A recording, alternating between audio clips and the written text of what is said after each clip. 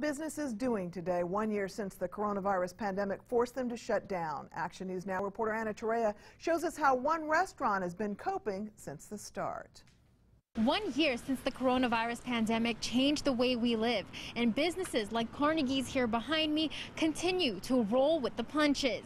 The pandemic has been a roller coaster for businesses like Carnegie's. Every day, the restaurant continues to navigate the unknown. The restaurant says its loyal customers have also helped business stay alive.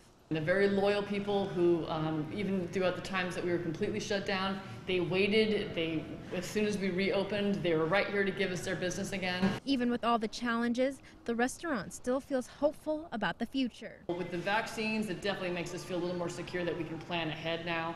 Um, with all the exciting stuff going on downtown, that's also making us feel very hopeful. We have a new courthouse being built just across the street, so that's going to bring in a lot of great business. Carnegie's continues to offer curbside and takeout. Reporting in Redding, Anna Torrea, Action News Now, coverage you can count on.